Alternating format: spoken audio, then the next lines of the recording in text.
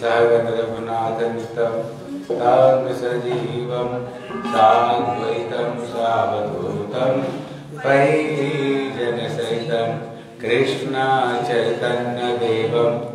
श्रीराधा कृष्णपदान् सहगनललिता श्रीविशाखान्वितांश ॐ ज्ञानतिमिरान्धस्य ज्ञानाञ्जनशलाकया चक्षुरुन्मिलितं तस्मै श्रीगुरवे गुरुदेवाय धीमते सममूर्तये श्री श्रीमद्भक्ति श्रीरूप सिद्धान्ति प्रभवे श्रीमहात्मने। नामयं विष्णुपादाय राधिकाय प्रियात्मने। श्री श्रीमद्भक्तिवेदान्त नारायण नामिने। श्रीकृष्णलीलाकथन सुदक्ष औदार्य माधुर्य गुणैश्च युक्तं वरं वरण्यं पुरुषं महान्तं नारायणं स्तं शिरसा नमामि, नामयं विष्णुपादाय। आचार्य सिंहरूपिणे श्री श्रीमद्भक्ति प्रज्ञान केशवैति नामिने। अतिमर्तचरित्राय स्वाश्रितानञ्च पालिने जीवदुःखे सदात्राय श्रीनामप्रेमदायिने नामयं विष्णुपादाय कृष्णपृष्ठाय भूतले श्रीमते भक्तिसिद्धान्त सरस्वतीति नामिने श्रीभार्षभानविदेवे दैताय कृपाद्वये कृष्णसम्बन्धविज्ञान दायिने प्रभवे नमः। माधुर्यजलप्रेमाढ श्रीरूपानुगभक्तिद। श्रीगौरकरुणाशक्ति विग्रहाय नमस्तुते। नमस्ते गौरवाणी। श्रीमूर्तये दिनतारिणे। श्रीरूपानुगविरुधाभ। सिद्धान्तदन्तहारिणे नमो गौरकीश्वराय साक्षात् वैराग्यमूर्तये विप्रलम्भरसाम्बुधे पादाम्बुजायते नमः। नमो भक्तिविनोदाय सच्चिदानन्दनामिने गौरशक्तिस्वरूपाय रूपानुगवरायते गौराविर्भावमिष्ट निर्दिष्टा सार्वभौम श्री जगन्नाथाय ते नमः। वाञ्छाकल्पतरुर्भयश्च कृपा सिन्धुभैव च पतितानां भावनेभ्यो वैष्णवेभ्यो नमो नमः। बृन्दाय तुलसीदेव्यै, प्रियाय केशवस्य च, कृष्णभक्तिप्रददेवी सत्यवतै नमो नमः। श्रीकृष्णचैतन्य प्रभु नित्यानन्द श्री अद्वैत गदाधर श्रीवासादि गौरभक्तवृन्द हरे कृष्ण हरे कृष्ण कृष्ण कृष्ण, हरे हरे हरे राम हरे राम राम राम। बोल हरे कृष्ण हरे कृष्ण। कृष्ण कृष्ण हरे हरे हरे राम हरे राम राम राम, हरे हरे। दावनलसम संसार दहने, दग्ध जीवकुल उधर कारणे करुणावारिद, कृपावारिदाने। बंदिसे गुरु शरण कमल मृत गीता वाद्य श्रीहरि कीर्तने राहे नमगन महमतमने रोमाञ्चकं पाशु हाय गौरप्रेमे बन्दिसे गुरु शरणकमल सकारकजिनी विग्रह से बने सिंगर दियार मंदिर मार्जनी करे नुक्त अनुगत जने, बंदित गुरु। चरण कमल सर्वकुशल पेयर समय प्रसाद कृष्ण अति साधु है भक्त स्वादने निज तृप्त राय वंदित गुरु चरण कमल। श्री राधा माधव, नाम रूप गुणे, अनंत माधुर्य, लीला स्वादने लुभचितदिनी अन प्रतीक्षणे बंदिते गुरु।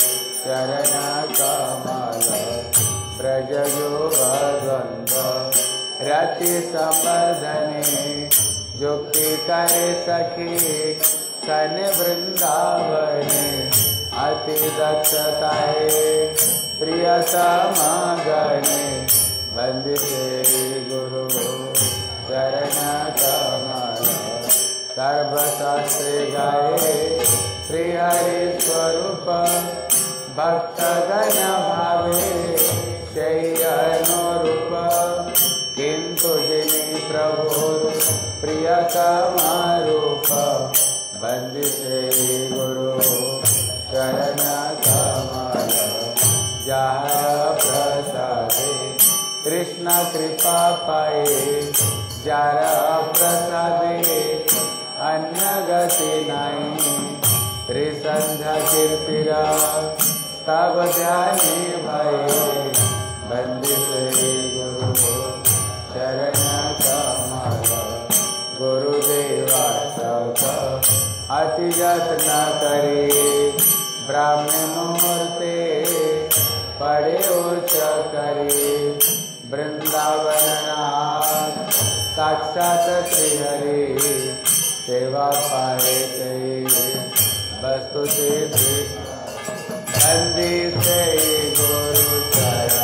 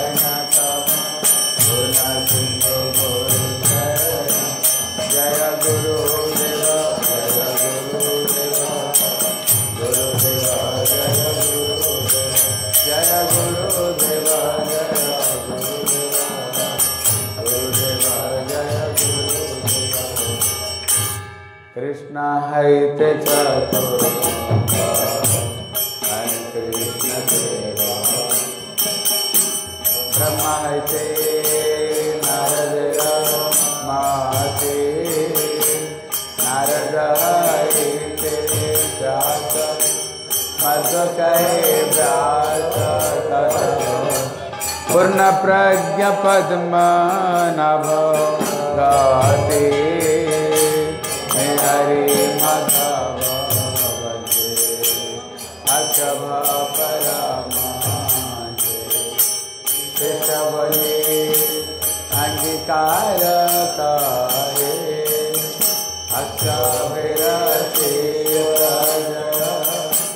कीर्तन में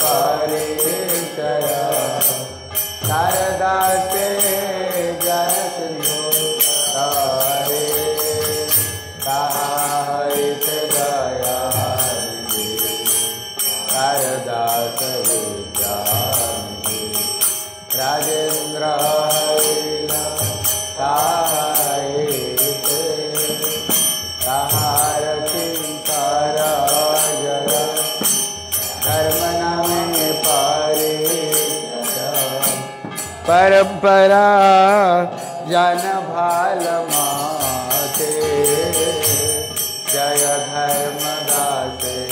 जाति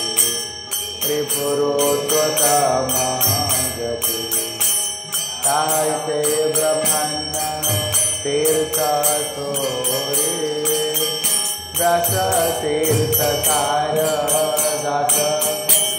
लक्ष्मीपति व्यास दास।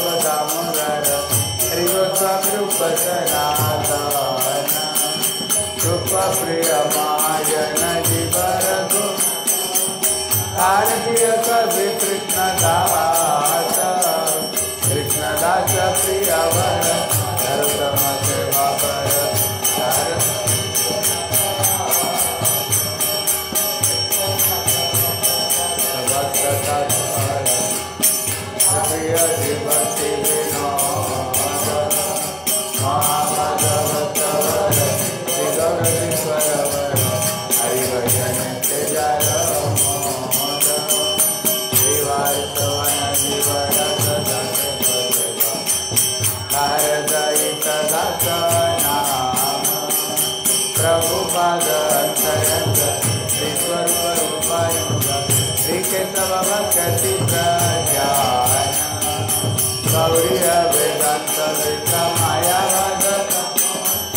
गौरवी प्रचारिता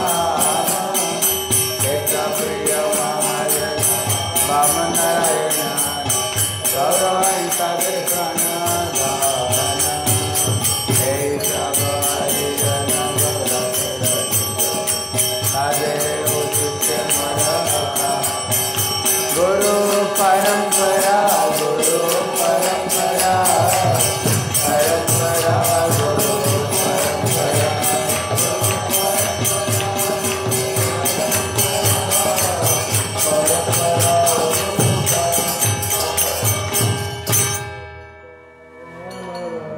శ్రీకృష్ణ చేద్దాం ధర లలిత వద్దాం దాదా ధర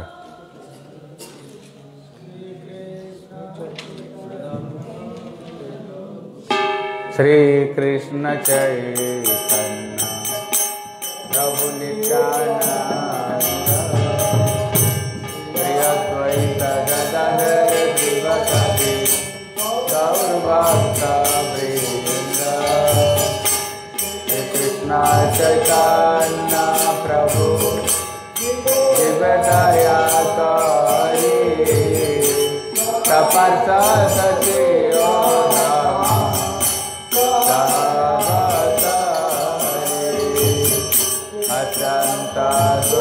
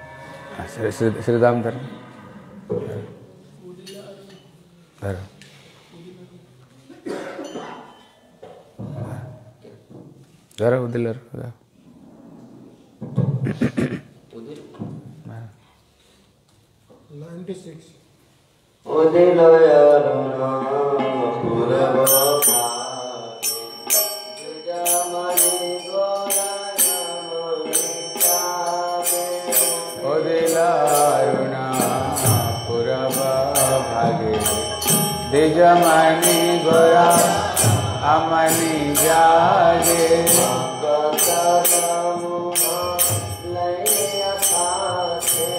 बकत समुआ लैया सफे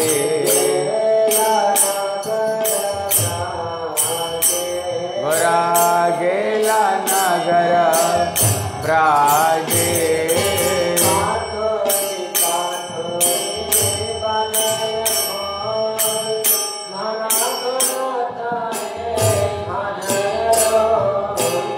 ताथई थे बाजल खो घन घन ताए झांझर रो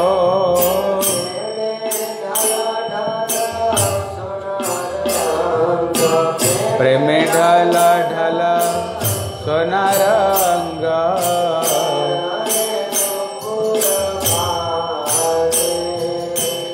चरणी नुपुरा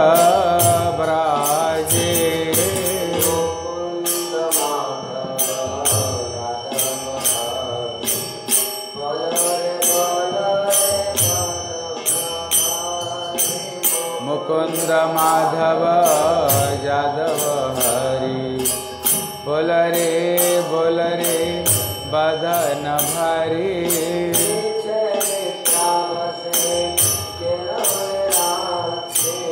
नीचे निद्रा बसे गेल रे राती।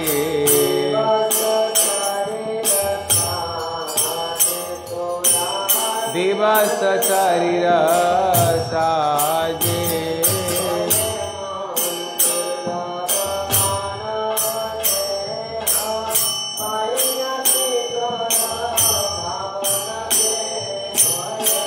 मन दुर्लभ, मानव देह।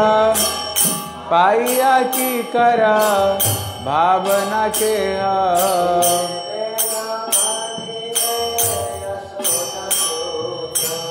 हेबे न भजले, जसोदा सुत।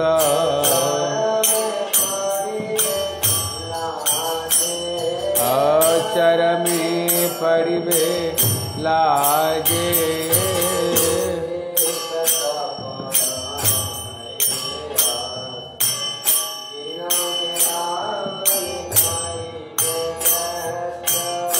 उदित तपन हाइले अस्त।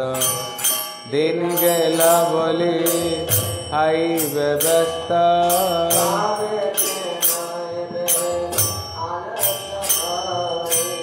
तबे के नएबे आलस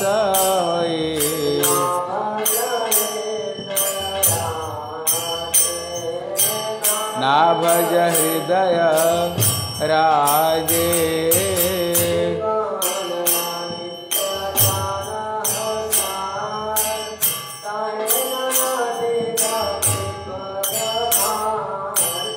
जीवन अनित जन सार ताहे नाना विधा विपद भार।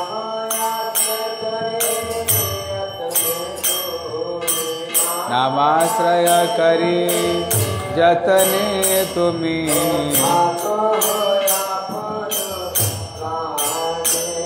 अथक अपना काजे।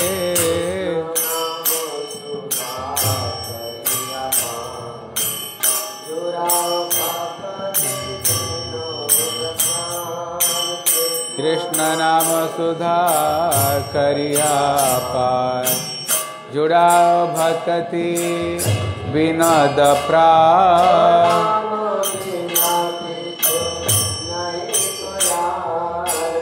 नाम बिना किछो नाही का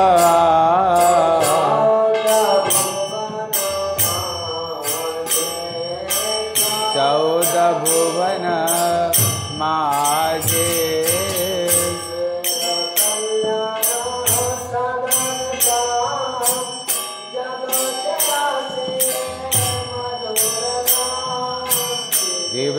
कल्याण साधन काम। जगते आसिए मधुर नाम।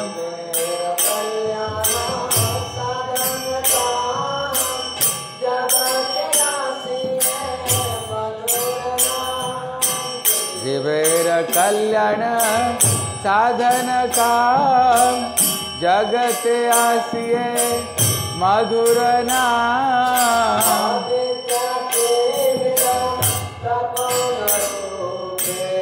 अविदति मेरा तपन रूपे।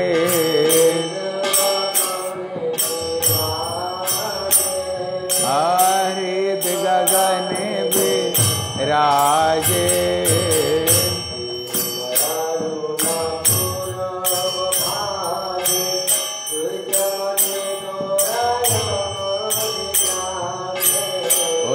उदिलारुणा पुरब भागे दिज मनि गोरा अमनि जागे।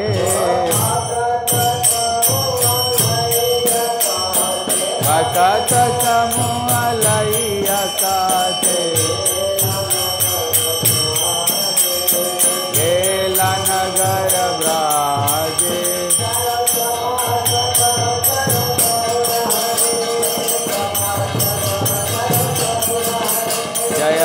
सपार्षद जय गौरारी सपार्षद जय गौरारी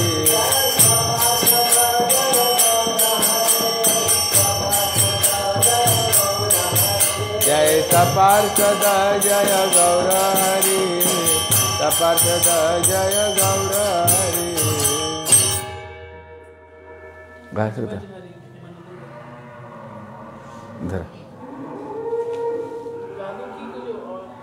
धर भज भज हरि मन दृढ़ करी। मुखे बोलतार भज भज हरि मन दृढ़ करे। मुखे बल तार नाम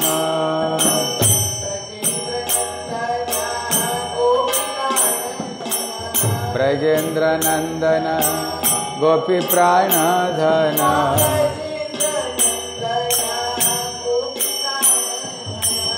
ब्रजेंद्र नंदन गोपी प्राण धन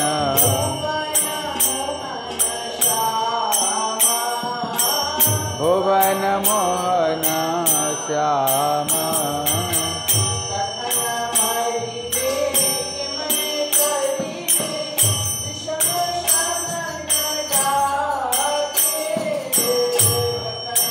मारिबे के मन तारिबे विषम समन डाके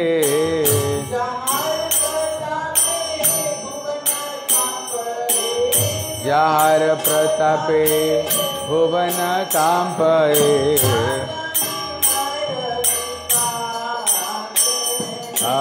ना जानी मारबे पाके।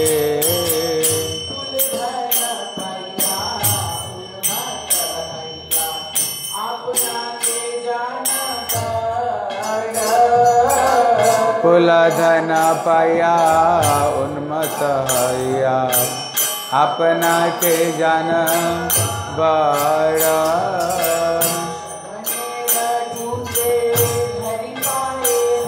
असमन रघुते धरि पाए हाथे।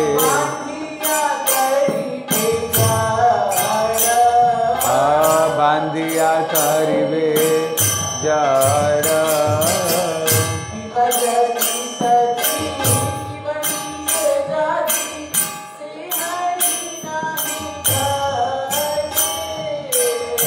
किवा जति सती किवा नीच जाति जय हरि नाही बाजे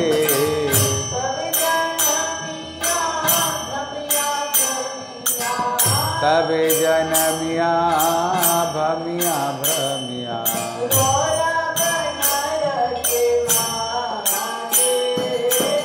रौरव नर के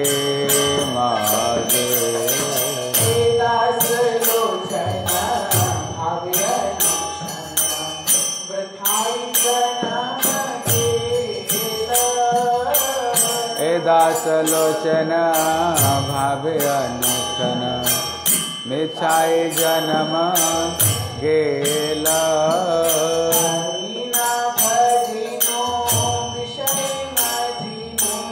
हरि न भजिनो विषय माजिनो।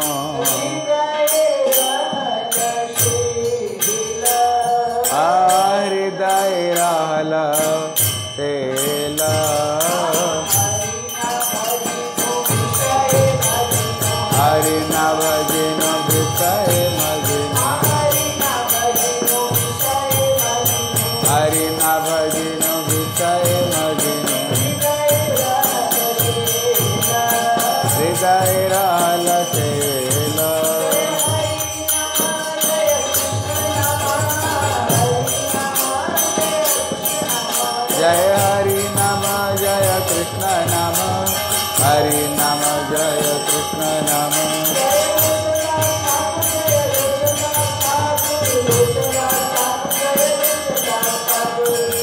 दास ठाकुर जय लोचन दास ठाकुर लोचन दास ठाकुर जय लोचन दास ठाकुर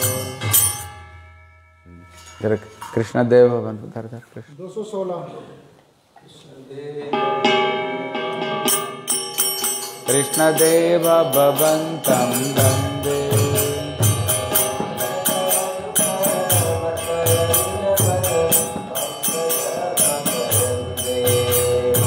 मानसमधुकरमर्पय निजपद पङ्कजमकरन्दे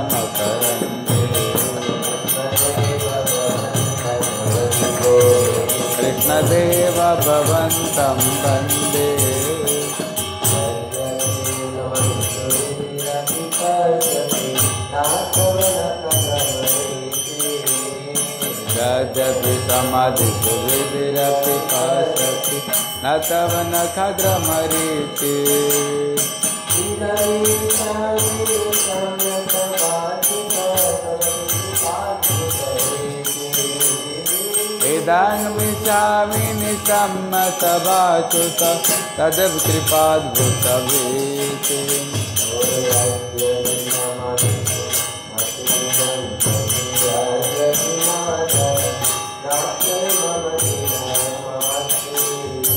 भक्तिरुदञ्चति यद्यपि माधव न त्वयि मम तिलमात्री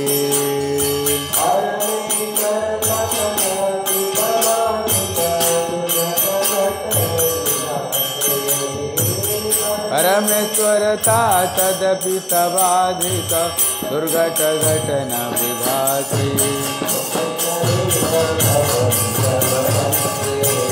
कृष्णदेव भवन्तं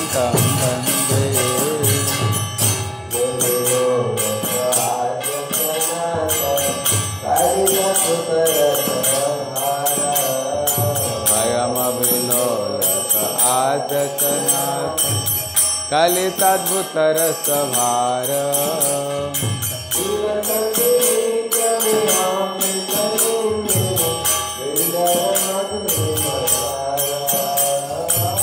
निवसतु नीतमृहामृतनिन्दिनि बिन्दनमधुरिमकार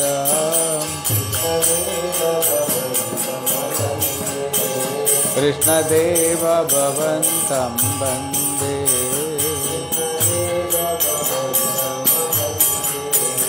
कृष्णदेव वंदे। राधे जय जय।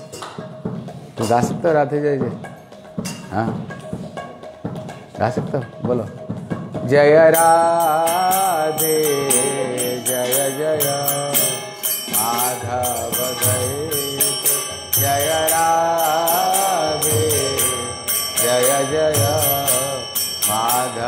गए बोलो गोकुल तारुणी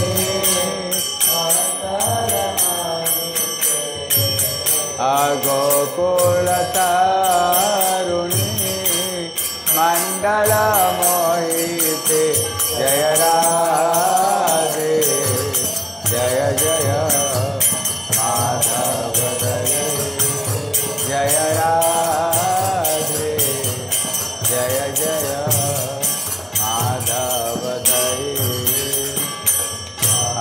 दामोदर रामे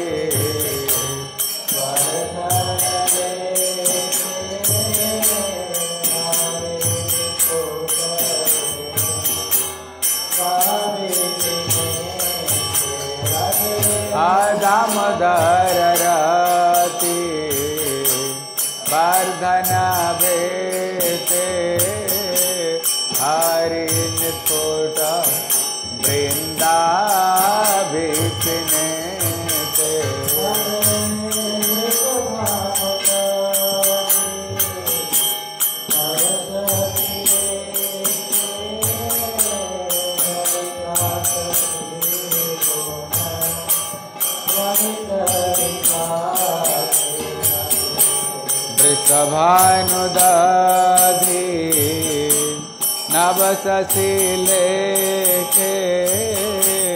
ललित सखी गुण रमिता विशाखे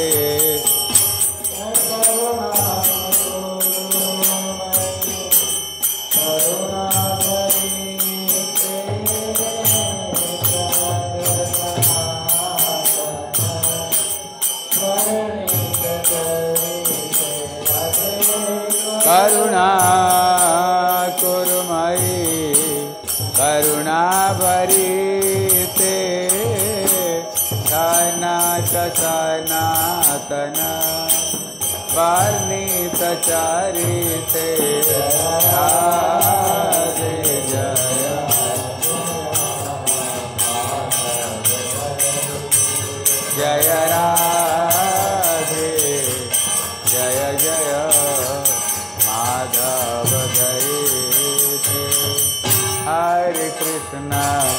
हरे कृष्ण कृष्ण कृष्ण। हरे कृष्ण हरे कृष्ण। कृष्ण कृष्ण, हरे हरे।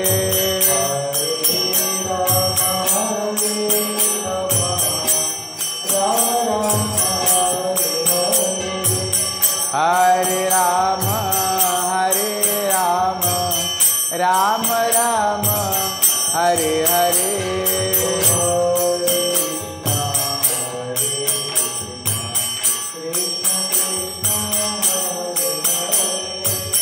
हरे कृष्ण हरे कृष्ण कृष्ण कृष्ण हरे हरे।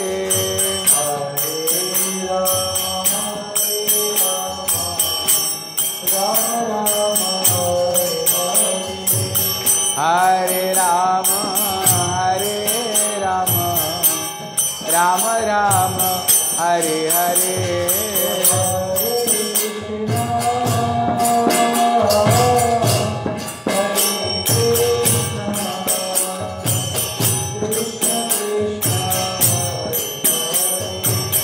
हरे कृष्णा हरे कृष्णा।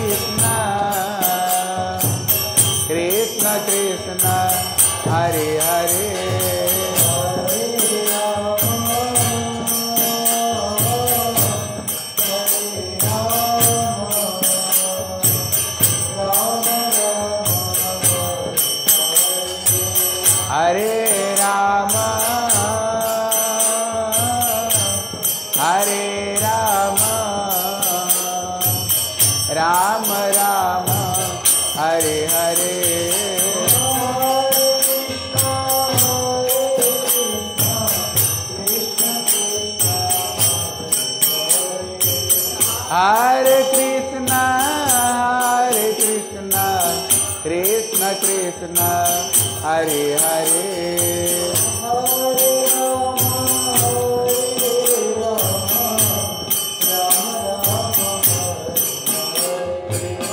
हरे राम हरे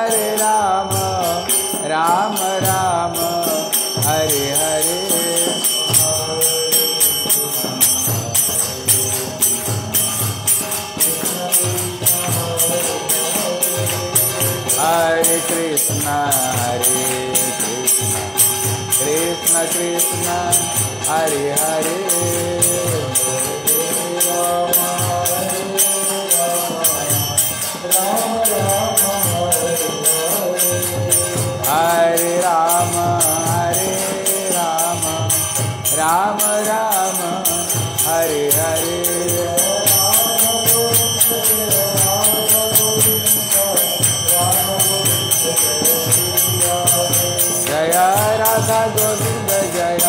राधा गोविंद राधा गोविंद जय श्री राधे।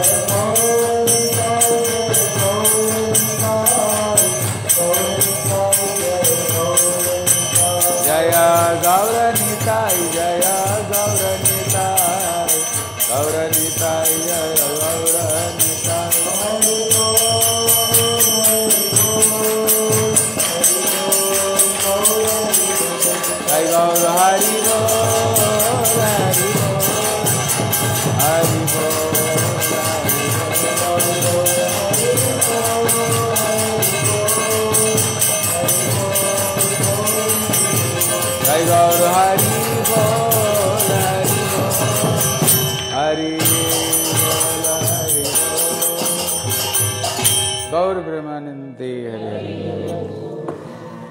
ओम अज्ञानतिमिरान्धस्य ज्ञानाञ्जनशलाकया चक्षुरुन्मिलितं येन तस्मै श्रीगुरवे नमः। गुरवे गौरचन्द्राय राधिकाय कृष्णाय कृष्णभक्ताय तद्भक्ताय नमो नमः। वाञ्छाकल्पतरुर्भस्य कृपा सिन्धुभैव च पतितानां पावनेभ्यो वैष्णवेभ्यो नमो नमः।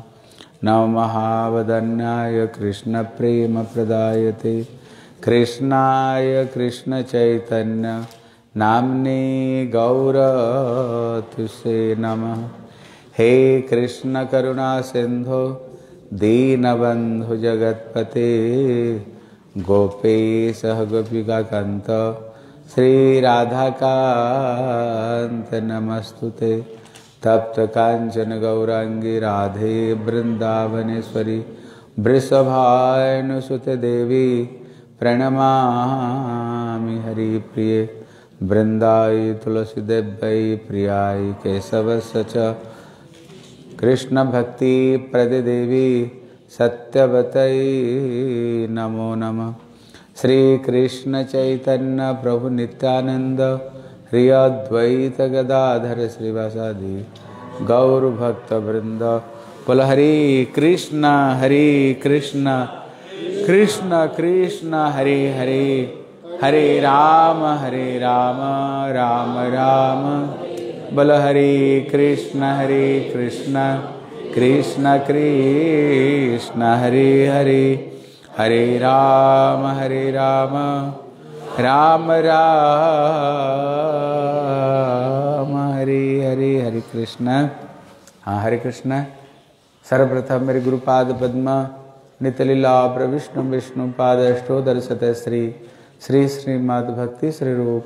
सिद्धांत गोस्वामी महाराज के चरण कमल में अनंत कोटि साष्टांग दंडवत प्रणाम करता हूँ।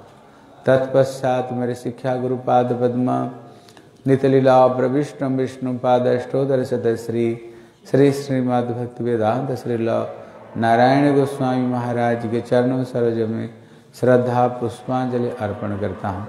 उपस्थित समस्त वैष्णव वैष्णवी को चथा युग प्रणाम करता हूँ। हरे कृष्ण।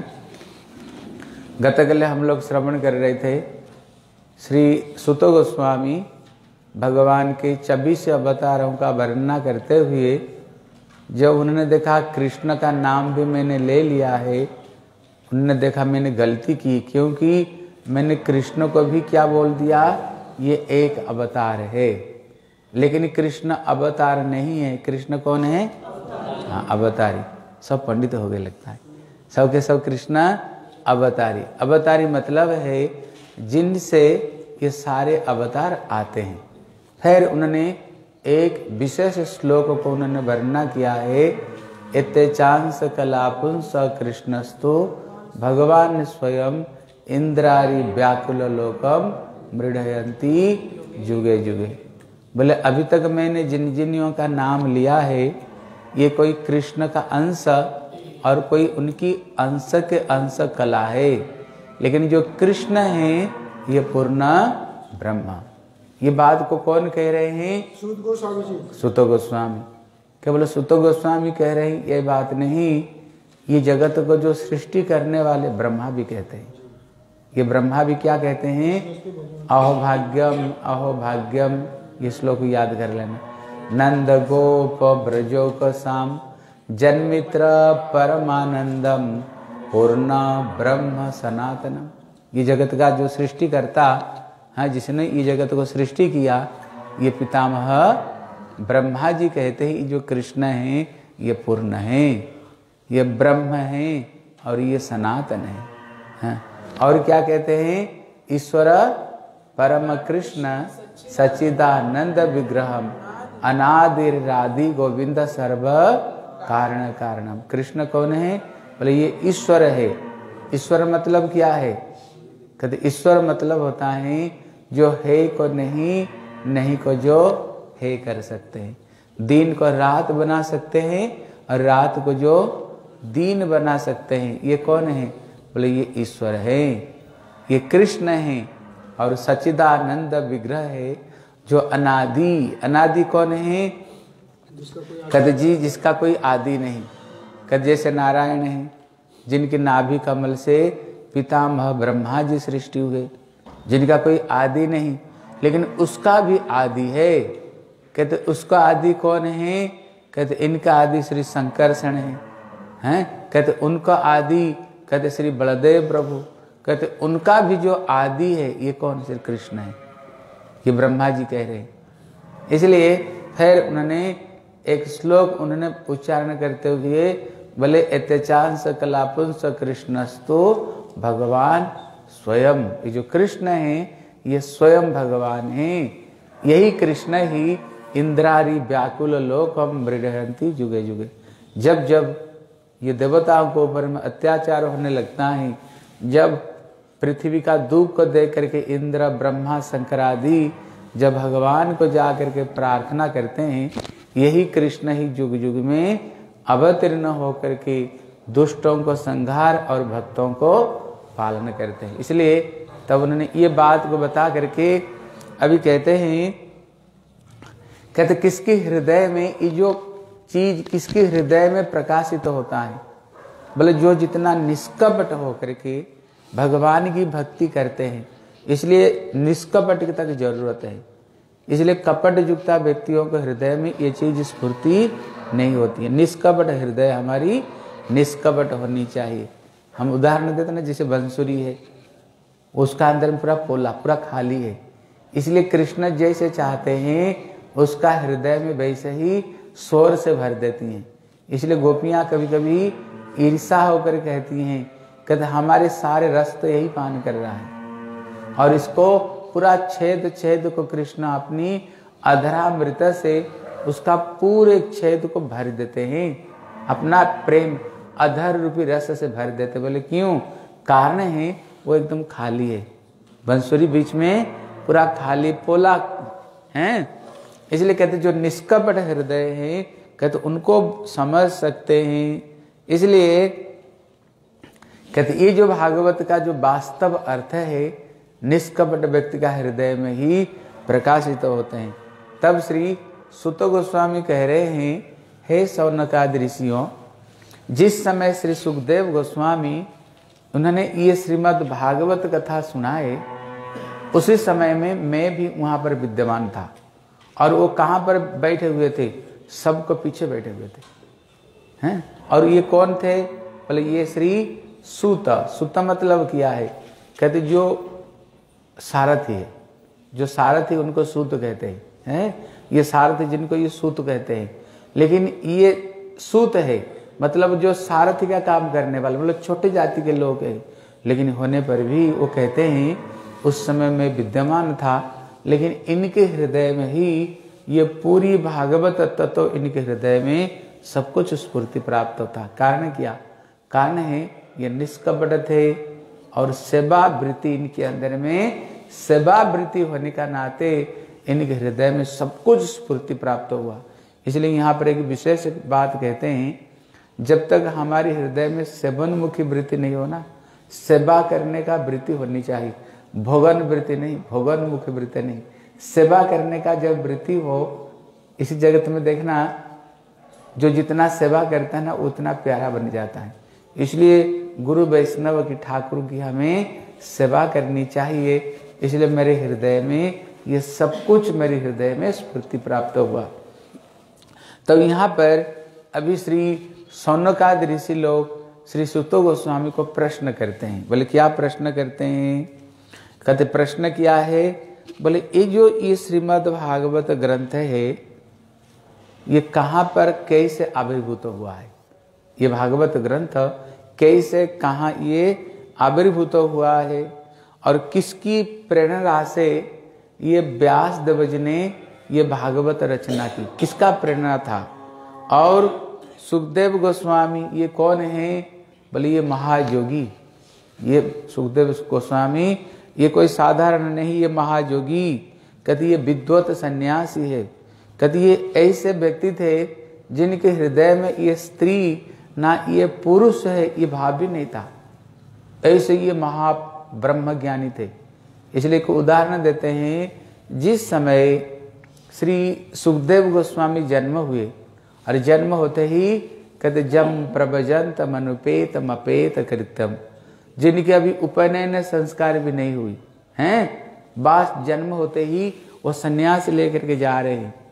और व्यास देव उनको पीछे पीछे हा पुत्र हा पुत्र करते करते इनके पीछे पीछे चल रहे थे। जब चलते चलते कुछ सरोवर में कुछ स्त्रियाँ स्नान कर रही थी। हैं? जब स्नान कर रही थी, इतने में जब श्री सुखदेव गोस्वामी जा रहे थे, उनका उम्र कितना? सोलह साल के, एकदम जवानी अवस्था। जब चल रहे थे, लेकिन जो स्त्रियाँ सरोवर में स्नान कर रही थी ना, लेकिन उनको देख करके उनके अंदर में कोई शर्म नहीं आई।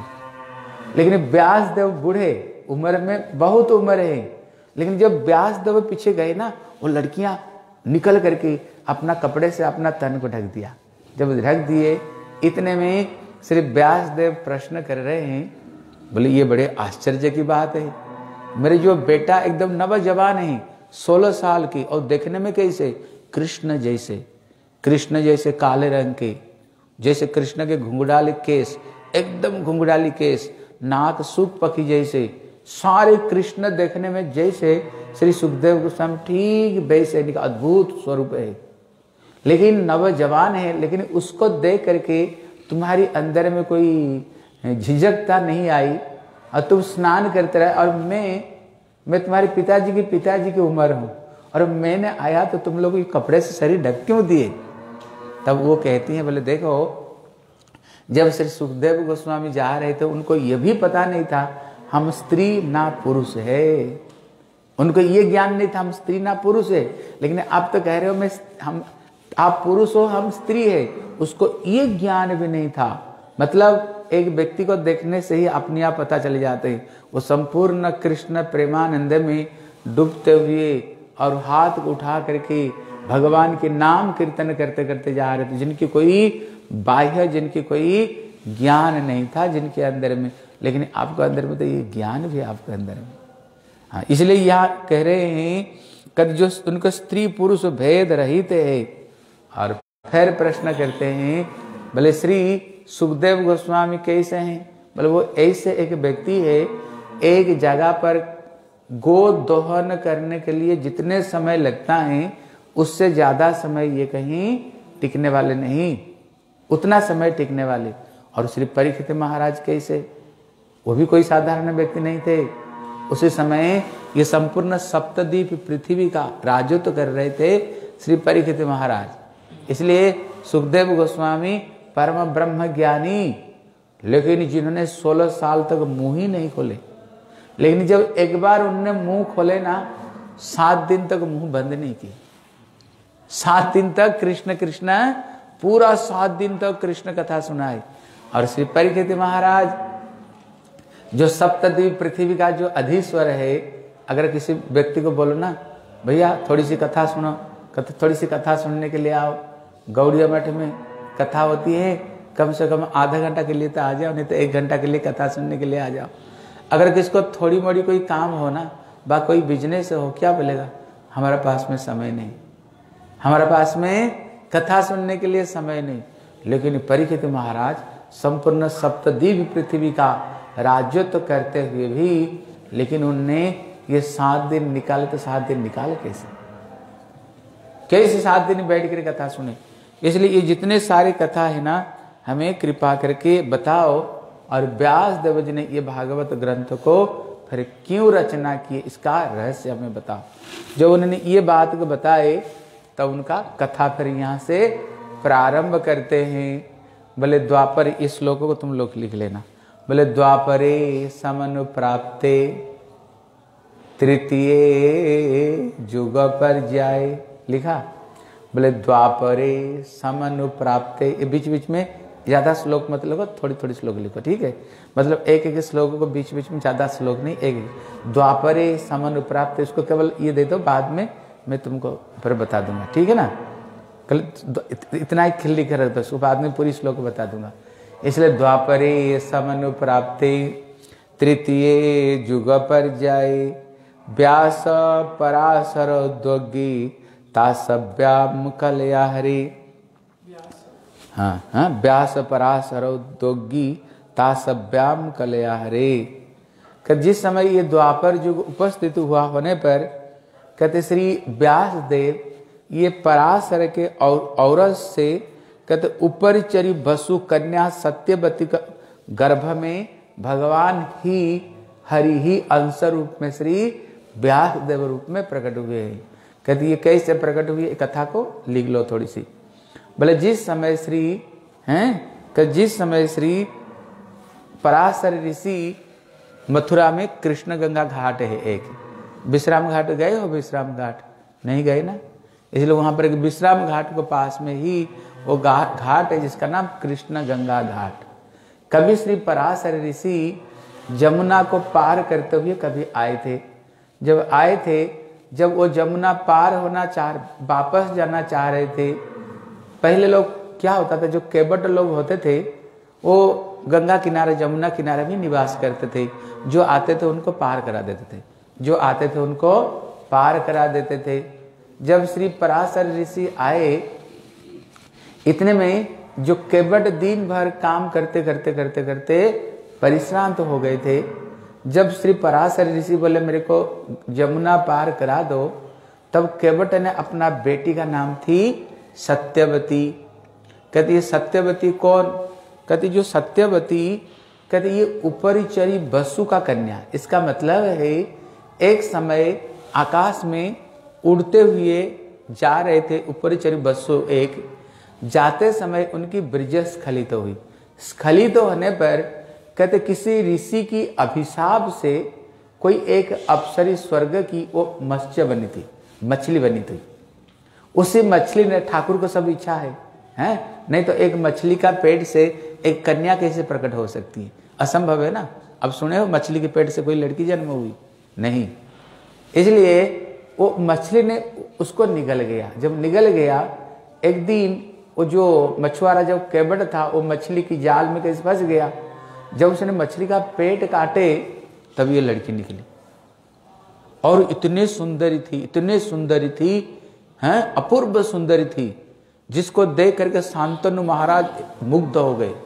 हैं, अब महाभारत देखे होंगे, इतने प्यारी सुंदरी थी। कारण है, वो ऊपर चरी बसु का ब्रिज से और ऋषि की अभिशाप से कोई अप्सरी ये मछली बनी हुई थी चूँकि उसकी गर्भ से इसने जन्म ग्रहण की अपूर्व देखने में सुंदर थी। पहले उसका नाम था मत्स्य गंधा क्योंकि मछली के पेट से जन्म हुई, इसलिए उसकी शरीर से मछली की बदबू निकलती थी। लेकिन श्री पराशर ऋषि की आशीर्वाद से उसका नाम हो गया जोजन गंधा हाँ उन्होंने उनको आशीर्वाद दिया। कहते, एक जोजन तक उसकी शरीर से इतने सुंदर कमल फूल की खुशबू निकलती थी। हाँ इसलिए संतनु महाराज कैसे देखा? बड़ी दूर से उन्होंने उनको बड़ी सुगंधी आई। बोले, इतनी सुगंधी कहाँ से आ रहा है? तब उन्हें ढूंढते ढूंढते ढूंढते ढूंढते जब आए, तब उन्होंने ये सत्यवती को उन्होंने दर्शन किया। फिर उनको साथ में उनकी शादी हुई। इसलिए कहती, ये ऊपरी बसु की कन्या, ये मत्स्य गंधा थी। उनको ऋषि ने कहा, जाओ केवट ने कहा, जाओ ऋषि को पार करा दो। जब ये पार करा रही थी, लेकिन पराशर ऋषि तो साधारण भी कोई साधारण थे नहीं। लेकिन वहाँ पर बीच में एक टापू था, वहीं पर नाव जब लगा, वहाँ पर उनकी इच्छा से कोहरा कोहरा हो गया, और श्री पराशर ऋषि, उनने दिव्य दृष्टि से उन लड़की को दर्शन किया। दर्शन मात्र से ही श्री व्यास देव वहीं पर वहीं पर श्री व्यास देव जन्म हुए। इसलिए इनका नाम क्या पड़ा? कृष्ण द्वैपायन वेद व्यास है इनका नाम कृष्ण द्वैपायन वेद व्यास क्यों पड़ा? बोले, कारण है, कृष्ण मतलब इनका जो रंग है, वो कृष्ण रंग, काले रंग के, श्याम रंग के थे। इसलिए कृष्ण। द्वैपायन मतलब जिन्होंने द्वीप से, वो द्वीप था, वहाँ पर टापू सा था, वहीं प्रकट प्रकट हुए।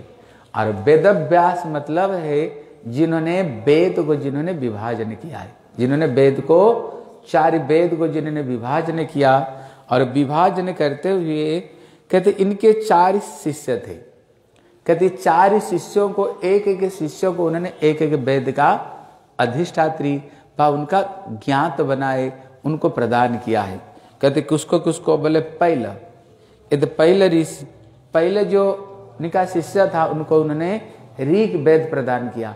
रीक वेद का बेता हो गया पहला इसका नाम लिख लो। बोले, जैमिनी, जो जैमिनी निका शिष्य थे, इनको उन्होंने साम वेद का, जो अधिष्ठात्री बा, साम वेद का पूरा नॉलेज उनको प्रदान किया। कहते, वैष्णव पायन तीसरा शिष्य है, इनको उन्होंने जदुर्वेद का उन्होंने ज्ञात कराए। कहते, सुमंत को ये अर्थ, अथर्व वेद। हैं? ये अथर्व वेद का जो ज्ञाता सुमंत को बनाए। और श्री सुत गोस्वामी कहते मेरे जो पिता थे, कौन? सुत रोमहसन सुत हैं? एक उग्र सभा सुत, ये उग्र सभा सुत, और इनका पिता नाम था रोमहसन सुत कहते मेरे जो पिता है, ये सारे पुराण का ज्ञान, मेरे पिताजी को सारे पुराण का ज्ञान था। है? इसलिए उन्होंने वेद को उन्होंने विभाजन उन्होंने किया है। इसलिए जब श्री व्यास देव जब प्रकट हुए, इतने में अभी व्यास देव बोले, हरि की अंश से ही भगवान की ये सत्यावेश अवतार श्री ये व्यास देव जब प्रकट हुए, अवतीर्ण होकर के ये भगवान की अंश है। इसलिए उनको सब कुछ बात पता है। उन्होंने अपना दिव्य दृष्टि से देखा, बोले, दिव्य दृष्टि क्या देखा? बोले कलियुग आएगा। बोले जब कलियुग आएगा, लोगों का स्थिति क्या होगा, उन्होंने दिव्य दृष्टि से देखा। पहले देखा उन्होंने, कहती ये इनका जो धैर्य है ना, बड़े धैर्य नहीं रहेगा। पहले लोग एक साल, एक साथ में जब बैठते थे, भजन करते थे, कितना ध्रुव महाराज जब बैठते, तीन दिन तक कोई खाए नहीं। उसके बाद छः दिन तक, उसके बाद नौ दिन तक एक जगह में बैठे तो बैठ करके पूरा भजन में अपना मन को डुबो देते थे।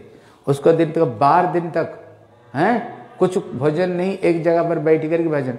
लेकिन अभी हम लोगों को बोलते, भैया, एक घंटा बैठ कर थोड़ा हरिनाम करो, तब भी हमारी मन नहीं लगता। है एक घंटा क्या, आधा घंटा बैठ करके बोलो, हरिनाम करो, मन छटपट छटका उठेगी। ये माला खत्म नहीं हो रहा है। नहीं तो एक भी माला अगर करे, बोले सवेरे एक माला करो। बोले, रोटी ठंडा हो रहा है। रोटी ये माला खत्म नहीं हो रहा है। रोटी ठंडा होते जा रहा है। इसलिए उन्होंने देखा अपना दिव्य दृष्टि से। इसलिए कहते इसलिए कहते हैं ना, हमारी सिद्धि क्यों नहीं हो रही कमी किस चीज़ में? क्या भगवान का नाम में कमी? ना हमारी अंदर में कमी है। कमी हमारी अंदर में, क्योंकि जरूप लैल नाम प्रेम उपजय, तार स्वरूप लक्षण सुन राम राय। महाप्रभु कह रहे हैं कैसे हरि नाम को करनी चाहिए, तभी हमारी सिद्धि होएगा। इसलिए अपना दिव्य दृश्य से देखा, जो कलियुग का जो जीव है, इनका कोई धीरज धारण नहीं कर सकते हैं। मन छटपट छटपट, कब वाला खत्म होगा? अभी खत्म नहीं, उठो, हैं? थोड़ा बात कर लो, घूम लो। नहीं, ऐसे नहीं। इसलिए भजन, अपना धीरज पूर्वक भजन करनी चाहिए। उन्होंने देखा, कलियुग आने पर इनका धीरज खत्म हो जाएगा। फिर क्या खत्म? इनकी आयु भी खत्म होगी पहले आप लोग देखे होंगे, लोग कितने लंबे चौड़े होते थे, हैं? कितने लंबे चौड़े, क्योंकि जो चीज़ मिलती थी प्योर चीज़ मिलती थी हाइब्रिड से, अभी हर चीज़ हाइब्रिड से बनती है। इसलिए इतना तरह तरह का बीमारी का कारण क्या है? ये हाइब्रिड से सब चीज़ बन रही है। प्योर चीज़ बन ही नहीं रहे, हैं? फिर उनको, फिर जो स्मार्टफ़ोन आ गया, फिर मोबाइल ये टीवी ये तो सबको सत्यानाश कर दिया सब चीज़ को। इसलिए लोग ब्रह्मचर्य पालन नहीं कर पाते हैं। पहले ये गंदी गंदी चीज़ नहीं होती थी। बच्चे ये गंदी चीज़ नहीं देखते थे। अभी दिन भर और उनको बचपन से ही स्मार्टफ़ोन का आदत पिता माता बना देते हैं। अब देखना दो साल का, एक साल का बच्चा, वो स्मार्टफ़ोन देख रहा है। हाँ? उसको थोड़ी सी हटा लो ना, रोना शुरू कर देता है। रोना शुरू कर देता ना। इतने छोटा बचपन से फिर उनकी आँख खराब भी हो जाता है। उसको देख देख करके मतलब इनकी इतने आदत है। कोई बोल रहे थे इसका पिताजी पुलिस में थे जब उन्होंने आए उनको कोई बेटा ये जो पबजी फबजी ना क्या सब देख रहा था स्मार्ट बोर्ड पिताजी ने कहा बेटा पढ़ाई करो क्यों इसको देख रहे हो? अपना पढ़ाई करो। उसको पिताजी छीन लिया तो उसने पिता को ही मार दिया। तलवार से अपने पिता को मार दिया। मतलब ये जो चीज़ है ना बच्चों के ऊपर में इतने गंदा प्रभाव डाल रहे हैं हैं? इतने गंदे प्रभाव डाल रहे हैं। इसलिए उनने देखा कली युग में इनका परमायु भी धीरे धीरे धीरे धीरे खत्म होते जाएगा। उसके बाद में फिर बुद्धि, है? पहले ब्रह्मचर्य के ऊपर में बुद्धि निर्भर करता है। आप जितने ब्रह्मचर्य को पालन करोगे ना, किसने कहा, अगर 25 साल तक, पहले क्या होता था? गुरुकुल में जाते थे। गुरुकुल में जाकर के 25 साल तक ब्रह्मचर्य पालन, कंपल्सरी था। हैं? अभी तो तेरह चौदह साल से ब्रह्मचर्य नष्ट हो जाता है, बारह तेरह साल से ब्रह्मचर्य नष्ट होता है। इसलिए इनका बुद्धि धीरे धीरे बुद्धि भी इतना तीक्ष्ण बुद्धि नहीं रहती है। बुद्धि भी धीरे धीरे ह्रास बुद्धि ह्रास होते जा रहे हैं। फिर देखा, कलयुग आएगा, फिर परमार्थ परमार्थ शून्य हो जाएँगे। लोगों को, अब लोग तो बड़े बड़े लोग हो। इसलिए पहले से आपको पिता माता के संस्कार पड़ी, अच्छी संस्कार पड़ी है। इसलिए भजन में आप लोगों का रुचि। अभी का जो बच्चों को देखो, कोई भक्ति भक्ति से कोई मतलब नहीं है। भक्ति भक्ति भजन भजन से इनके कोई भी मतलब है इनका नहीं। फिर तो ये लोग भगवान के ऊपर भी शंका करते हैं, क्या सचमुच से राम कोई था? क्या सचमुच से कोई कृष्ण था? पहले क्या होता था? हर पिता माता रामायण पढ़ती थी, गीता, भागवत राम पढ़ती थी, बच्चों के ऊपर अच्छे संस्कार पढ़ती थी। जाती थी मंदिर में बच्चों को लेकर के मंदिर में जाते थे हैं? बच्चों को लेकर जैसे मुसलमान लोग शनिवार को क्या करते हैं? शुक्रवार को। हाँ शुक्रवार को। क्या करते नमाज़ पढ़ाते टोपी पहना करके नमाज़। हाँ मैं मथुरा में गया था उस दिन आ रहा था हम देख रहा था बच्चों को बैठा करके उनको जो कुरान बच्चों को पूरा लाइन करके बैठ करके सब टोपी पहना करके सब कुरान याद करा रहे। लेकिन हमारे हिंदू कौन करवाते सबको? बल्कि खुद नास्तिक अब बच्चों को भी नास्तिक बनाते हैं धीरे धीरे। उनको भी नास्तिक बना देते हैं। इसलिए उन्होंने अपना दिव्य दृष्टि से सब चीज़ को ब्यास दे बताया। क्यों? भगवान ने उनने देख करके सारे वर्णाश्रम का कैसे कल्याण हो, भगवान ने चिंता करके उन्होंने ये सारे वेद, पुराण, इतिहास को उसने व्यास देव जी ने रचना किया है। फिर उन्होंने किया, फिर तो उन्होंने रचना करके फिर देखा जो संस्कारहीन व्यक्ति है। जिसकी कोई संस्कार नहीं। और जो शूद्र हैं, और जो ऐसे जो ब्राह्मण घर में तो जन्म हुए देखने के लिए, लेकिन ब्राह्मण धर्म से कर्म से जो रहित है। अभी धीरे धीरे कलयुग में तो वही हो रहा है। पहले ब्राह्मण लोग ही तीनों वर्णों का गुरु थे, शिक्षा देते थे। अभी ब्राह्मण ही शराब पीना, गुटखा खाना, गंजा पीना, सारे ब्राह्मण ही कल, हमारे बंगाल में तो ज़्यादा ही गो मांस खाना शुरू कर दिए। ब्राह्मण लोग धीरे धीरे इसलिए कोई जनेऊ नहीं, कोई ब्रह्म गायत्री जप करना नहीं। इसलिए व्यास देव जी ने देखा कि सबके सब ब्राह्मण से पतित है, हैं? जो ब्राह्मण कुल में जन्म हुए, लेकिन ये ब्राह्मण का धर्म कर्म नहीं करते, वो ब्राह्मण से पतित व्यक्ति है। इसलिए उन्होंने क्या किया? इन्हीं के लिए उन्होंने ये महाभारत ग्रंथ को रचना की है। रचना करके भी, लेकिन श्री व्यास देव जी को संतोष नहीं मिल रहा था। इसलिए व्यास देव कहते, श्री सरस्वती, है? श्री, आप लोग बद्रीनाथ तो गए नहीं। वहाँ पर बड़ी सुंदर सरस्वती नदी, बड़ी सुंदर, क्या तेज से गिर रहा है सरस्वती। लेकिन वो सरस्वती वहीं पर तो आती है, लेकिन वहीं अंतर ध्यान हो जाती है। इसलिए सरस्वती नदी किनारे में बड़े दुखी होकर के, अप्रसन्न होकर के वहाँ पर बैठे हुए थे। जब बैठे हुए थे, इतने में कहते, श्री भगवत इच्छा से श्री नारद जी भगवान की कीर्तन करते करते बोले, गोविंद, जय जय, गोपाल, जय जय, गोविंद, जय जय, गोपाल, जय जय, राधा रमण, हरि गोविंद, जय जय, राधा रमण, हरि गोविंद, बोल, गोविंद, जय जय गोपाल जय जय गोविंद। बोल गोविंद जय जय गोपाल जय जय गोविंद जय जय गोपाल जय। जय राधा रमण, हरि गोविंद जय जय राधा रमण, हरि गोविंद। जय गोविंद, जय जय गोपाल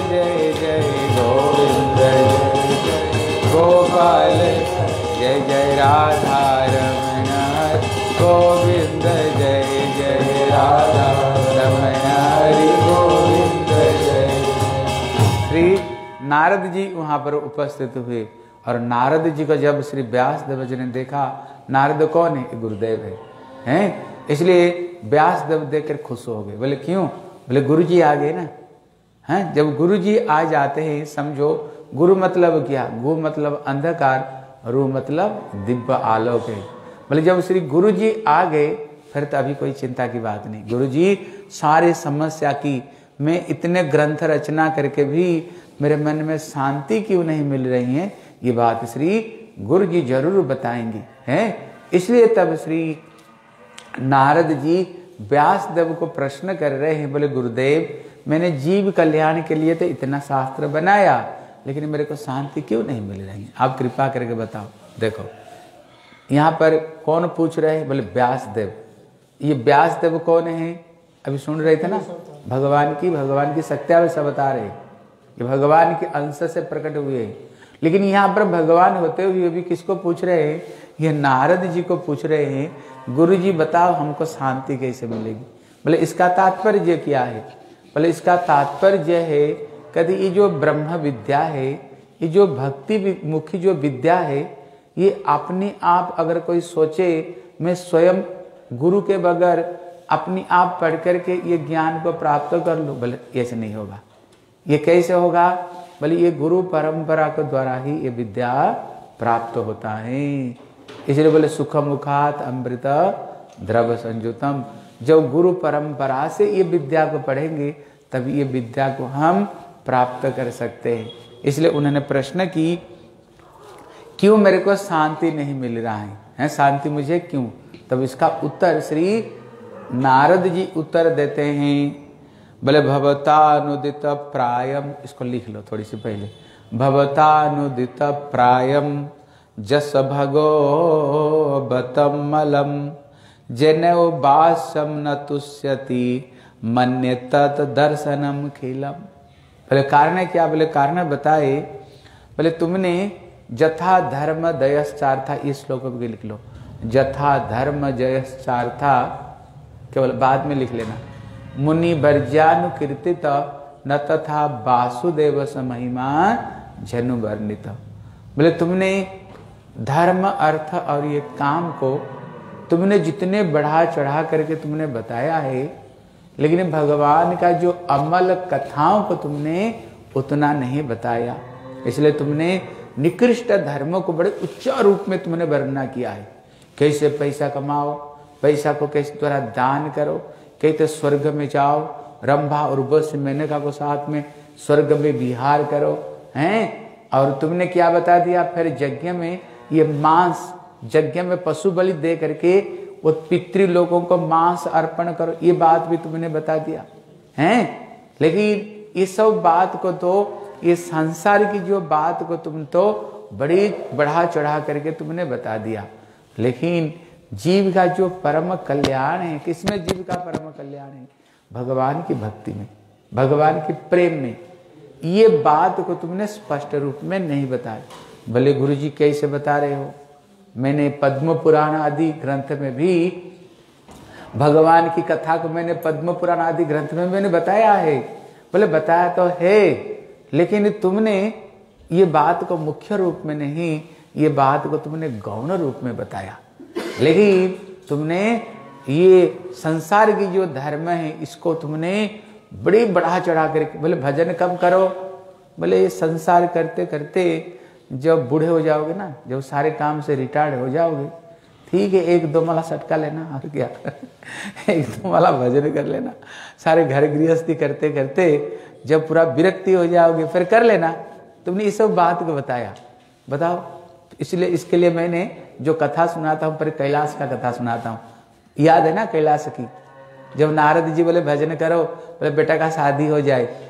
जब बेटा का शादी हो जाए, जब नारद जी आए बोले, अभी नाती होने वाला है। हैं? फिर बोले, कब जब आए? देखा, खत्म, कैलाश। फिर देखा, कहाँ पर जन्म हुआ? और घर में कुत्ता बन करके जन्म हुआ है। फिर उसको बाद में मरकर घर में बैल बनकर जन्म हुआ है। फिर तीसरा जन्म में जहाँ पर टाटी, जहाँ पर टाटी करते, वहाँ पर कीड़े बन करके जन्म हुआ है। उसको बाद में जहाँ पैसा को उसने रख कर गया था, पैसा में आसक्ति थी पहले गाड़ देते थे ज़मीन में, चोरी नहीं हो जाए। देखा वहाँ पर सांप बन कर बैठा हुआ है और किसको फटकना नहीं देता। नारद जी ने देखा इसको पीछे मैंने चार जन्म मैंने घूम गया। अभी तक भी आसक्ति नहीं जा रहा है। बेटे को बुलाया, बोला, डंडा लेकर के आ। बोले, जब डंडा नहीं पड़ेगा ना, ठंडा होने वाले नहीं। बोले, तेरे पिताजी बहुत पैसा गाड़ करके गया ज़मीन में, लेकिन उसको ऊपर सांप बैठा है, हैं? और मारना नहीं, कमर तोड़ देना। अपना बेटा आया और वो मारे डंडे से, मारा तो अपना पिताजी का ही कमर तोड़ दिए। और जो मतलब फेंको, गड्ढे खोदो, खोदा तो सचमुच से पैसा निकला। और वो सांप आग फाड़ फाड़ कर देख रहा था। क्यों? आसक्ति पैसा में थी।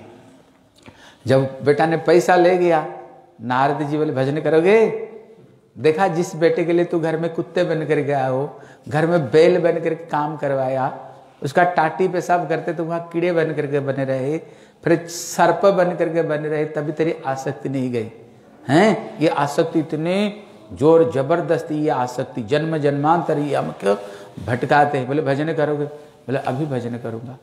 फिर नारद जी मंत्र दिए, फिर ले करके ठाकुर जी को पास में गए। ठाकुर जी बोले, कितने व्यक्ति, तू बोल रहा था ना, आज एक दिन में पूरा वैकुंठ भर दूँगा। कितने व्यक्ति को वैकुंठ भर दिया? बोले ठाकुर जी, आप सही कह रहे थे। इसका पीछे तो पाँच जन्म में घूम गया। तभी इसको लेकर के मैंने आया हूँ, हैं? इसलिए ये संसार इतने आसक्ति संसार रहता है।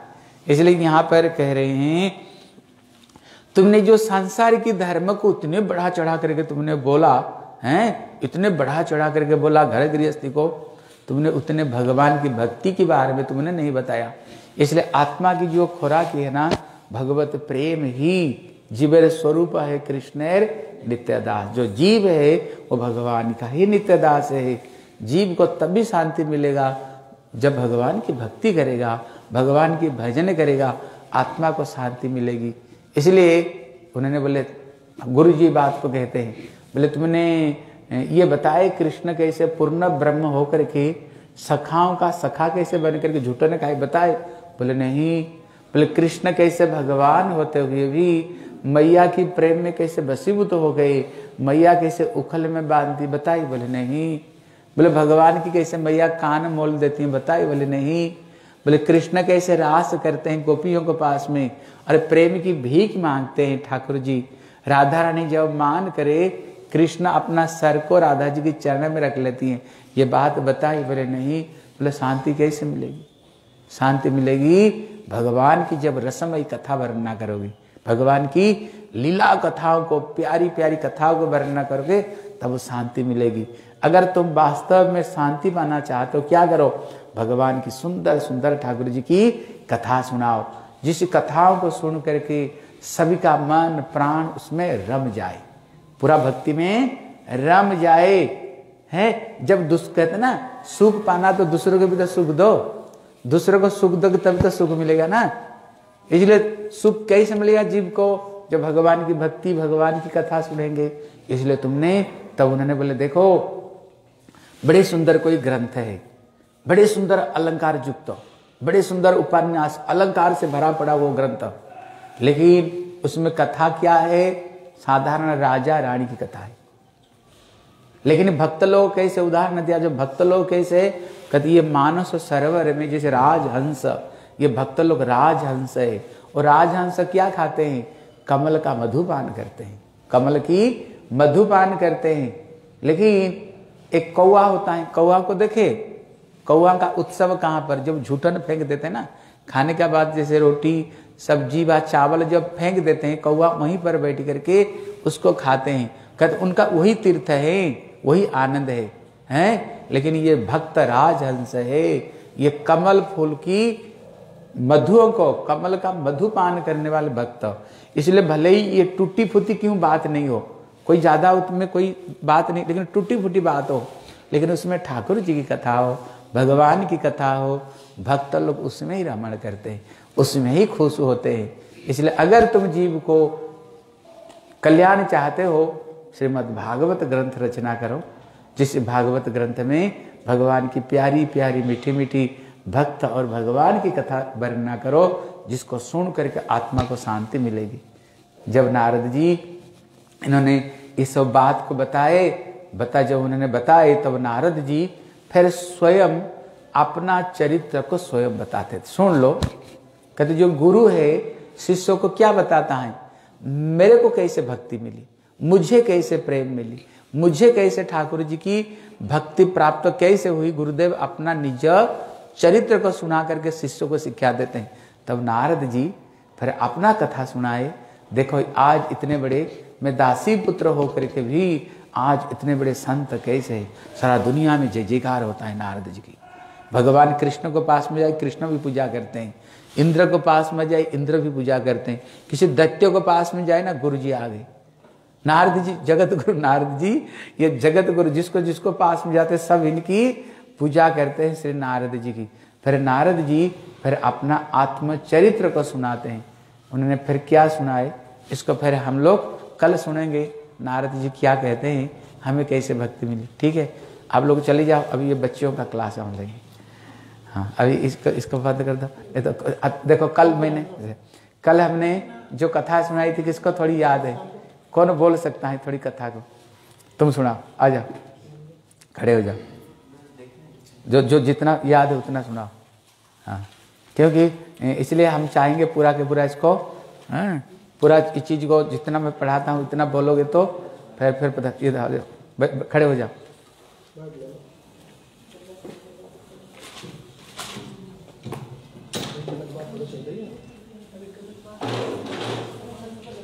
बाहर बनी सेठी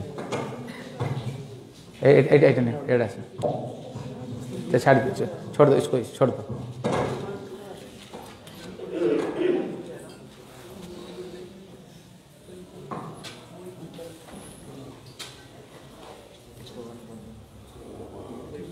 हाँ कथा को नहीं सुने सब। हाँ अरे क्या? और सुनेंगे यहाँ के बच्चे लोग कैसे सीख रहे हैं। इसलिए ये कथा सुन करके ना कल एक माता, एक लड़की की फ़ोन आई, इनकी जैसे वो नौकरी कर रही हैं उसका फ़ोन आई, बोले, महाराज जी, वो वो है ना, वो बड़ा इंटेलिजेंट है। वो जैसे कथा सुनती है ना, पता नहीं इसका बुद्धि इतना तेज है, वो जैसे कथा सुनती, पूरा ऐसे कथा सुना देती है। वो बोले, महाराज जी गुरु जी मैं भी बड़ो तो आना चाहता हूँ। और वहाँ पर किसी भक्तों घर में रुक करके आप जो बच्चों को सिखा रहे हैं ना मैं चाहता हूँ मैं भी कुछ सीखूँ। इसलिए मैं कि बड़ो तो आ जाओ आ करके कहीं रुक करके मैं भी सुनना चाहूँ। मैंने कहा थोड़ी देर कुछ दिन बाद में आयो अभी बता इसलिए इसको देख करके उसका मन में उत्साह आई। मैं भी धीरे धीरे कथा सीखूँ हाँ हाँ। हाँ? बोलो। बीस पच्चीस लोग देख रहे हैं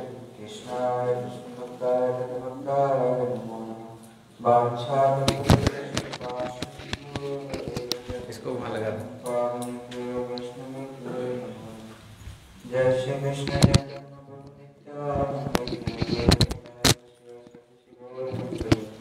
हरे कृष्ण हरे कृष्ण कृष्ण हरे हरे हरे राम हरे राम राम राम हरे हरे और कुछ है तो बोल दो। और कुछ नहीं है? आके लटका दो। सबसे पहले मैं अपने गुरुपाद पद्म ओम विष्णुपाद अष्टोत्र सदस्य श्रीमद भक्ति वेदांत गोस्वामी गुरु महाराज जी के चरण कमल में साष्टांग दंडवत प्रणाम करके उनका हेतु वंश करता हूँ। तत्पश्चात परम गुरुदेव वर्गम नित्यलीला प्रविष्ट ओम विष्णुपाल अष्टोत्र सदस्य श्रीमद भक्ति वेदांत शिल नारायण गोस्वामी महाराज नित्यलीला प्रविष्ट ओम विष्णुपाल अष्टोत्र सदस्य श्रीमद भक्ति वेदा, भक्ति शिव सिद्धांति गोस्वामी महाराज जगत गुरु प्रभुपाद सोपाल सद प्रभुपाद, रूपानुग गुरु वर्ग, अनंत कोटि वैष्णव वृंद, चरण साष्टांग दंडवत प्रणाम करके उनका हेतु की कृपा वांछा करता हूँ। श्री राधा गोविंद देव जी, जगन्नाथ बलदेव, सुभद्रा सुदर्शन, गौर नित्यानंद प्रभु के चरण में साष्टांग दंडवत प्रणाम करके उनका हेतु की कृपा वांछा करता हूँ। तो क्या हो रहा है? कोई बात नहीं दूसरा ले लो हो। रहा है वो बाद में देख लूँगा। उपस्थित समस्त वैष्णव वैष्णव के चरणों में मेरा जथा जो के दंडवत प्रणाम गुरुदेव के आदेश से यद्यपि भागवत जी में हम इतना प्रवेश नहीं है, फिर भी उनके आदेश को पालन करते हुए मैं कुछ बताना चाहता हूँ हरी कथा बोलना चाहता हूँ। कल हमने गुरुदेव ने विशेष रूप में ये बात को सिखाया है और गुरुदेव की इच्छा है कि हम सब भागवत जी सीखें और उसको विशेष रूप में प्रचार करें। और जो प्रभुपाद की वास्तविक जो मनोधारा, जो मनोभिष्ट है हमारे गुरुवर्ग का, परम गुरुदेव गुरुदेव का और फिर बाद में गुरु जी का, उसको हम विशेष रूप में प्रचार करें। तो गुरुदेव ने कल बताया 24 अवतार के बारे में वर्णन किया था। तो जो 24 अवतार है, सबसे पहले ये चतुशन सबसे पहले चतुसन सनक, सनातन, सनत कुमार सनंद सनातन। तो ये जो चतुसन ये ब्रह्मा जी के मानस पुत्र है। फिर उनके बाद नारद जी वेद व्यास और क्रमशः पूरा कलकी तक पच्चीसवा, पच्चीस अवतार को गुरुदेव ने बताया, विशेष रूप में बताया। फिर इसके अंदर वेद व्यास जी ने कृष्ण नाम को भी बोल दिया। अब कृष्ण नाम को बोलते ही वेद व्यास जी बहुत डर गए, क्योंकि जो कृष्ण है, वो स्वयं अवतारी है और इनसे ही सब अवतार प्रकट हुए हैं। अब इन्होंने इसीलिए अलग से एक श्लोक बोला कि एते चाँद सकलाभुंसम कृष्णस्तु भगवान सम इंद्रादि व्याकुलम लोकम मृडयंती युगे युगे तो ये जो स्वयं शब्द का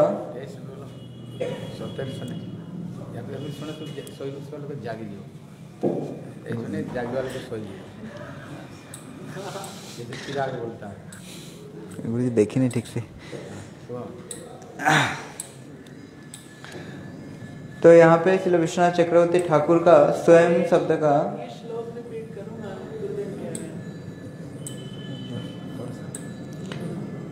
स्वयं शब्द का एक तात्पर्य श्री माधुर्य कादम्बरी ने बताया कि स्वयं रूपम स्वयं रूपम तदुच्यते क्या हो का तदेत का ना ना स्वयं रूपम जद रूपम।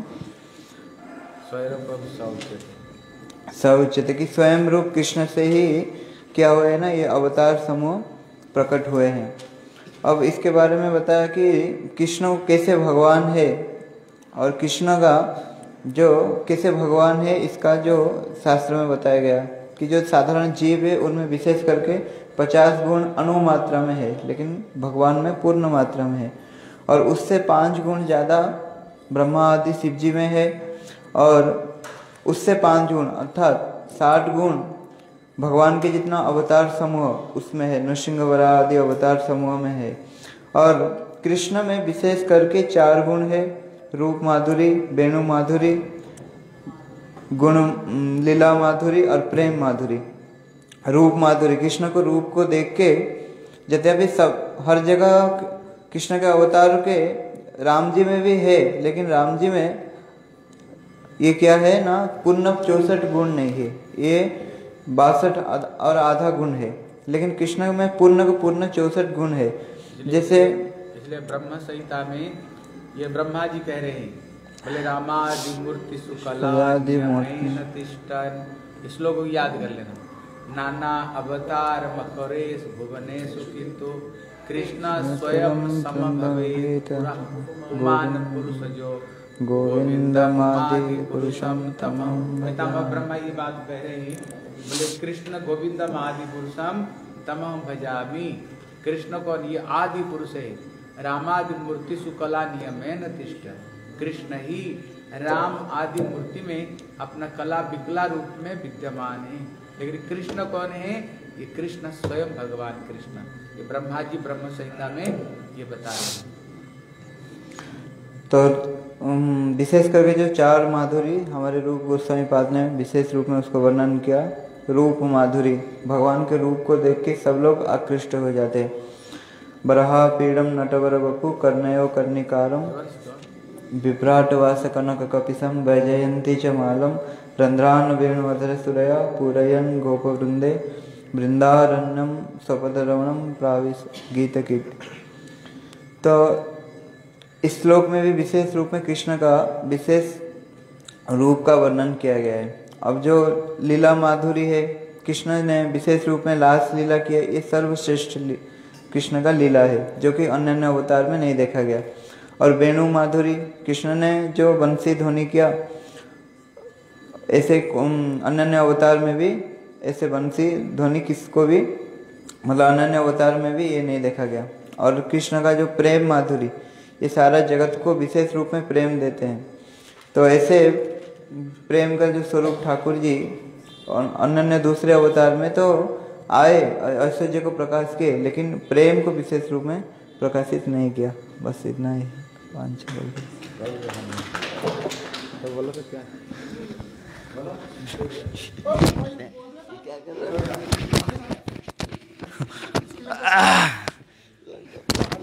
इसको नहीं दूँगा मैं। पागल कर दूँगा। बहुत पैसों का मेरे पे इतने पैसे ना आते हैं।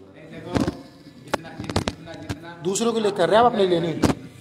जितना मैं बोलता हूँ ना उतना एकदम परफेक्ट करके आना। पूरा बढ़िया अच्छा मारो। अच्छे तरह से इसको पूरा परफेक्ट करके आना। तब तब तो सीखोगे सीखोगे इधर आ जा। इधर आ जाओ। यहीं यहीं यहीं पर आकर देखते हो इसलिए यहाँ आने से पहले पूरा एकदम पूरा ये परफेक्ट होकर इधर आना और दिन में सोना नहीं। सारा तो बोल दिया प्रभु जी ने। हाँ और क्या तुमने? दोबारा रिपीट कर दो नहीं मैंने हो। अरे इसकी क्या ज़रूरत है? हमारे लिए ज़रूरत है आपके लिए नहीं। कुछ ही नहीं आता है तेरा नंबर आएगा मेरे पे नापता एक बात बताओ मुझे। राक्षसों का नाश करने के लिए रामचंद्र जी पैदा हुए थे। यह करुणा खत्म करने के लिए कौन पैदा होगा ये? ये आप ही आप ही जन्म। क्या? लट लट लट लट लेके मुंडिया बजान कोरोना के भगवान का भगवान के नाम बोलो मैं कह रहा हूँ इसको मान ही नहीं रहा। दुनिया भगवान का नाम ले रही। है आप बोलो। मैं अपने लिए नहीं अपने लिए भगवान का नाम तो ले रही पर नाम तो करके दिया जाओ भगवान का नाम साल की समाप्त हो जाओ। श्री गुरु गौरांगो जयत। जो लास्ट में श्री गुरुदेव ने बताया उधर ही रखो इसको। ठीक है तो हाँ। श्री गुरुदेव ने जो लास्ट में हमारी जो कल कल का जो सत्र था उसमें जो अंतिम गुरुदेव के शब्द थे वो थे प्रेम माधुरी जो कि प्रभु जी नहीं बोले। प्रेम माधुरी में श्री भगवान ने वो गुरुदेव ने बताया कि इस पे एक श्लोक भी है श्री गोपिका गीत का। त्रुटिर्युगायते त्वामपश्यताम् कुटिलकुन्तल श्रीमुखं च ते जड उदीक्षताम् कृदृश पश्म कीदृशाम बस ये वाला श्लोक आखिरी का। इसीलिए भगवान की रूप माधुरी वेणु माधुरी प्रेम माधुरी ये जो ये सब ये जो लीला माधुरी ये सारे जो चारों माधुर्य है ये अन्य अन्य प्रकार के देवताओं से और भगवान के अन्य अन्य प्रकारों के जो अवतार हैं उन सबसे अधिक है। इस कारण से श्री कृ- जो कृष्ण है वे स्वयं श्री भगवान है। बस गुरुदेव इतना ही। ये ही नहीं बोला। देखो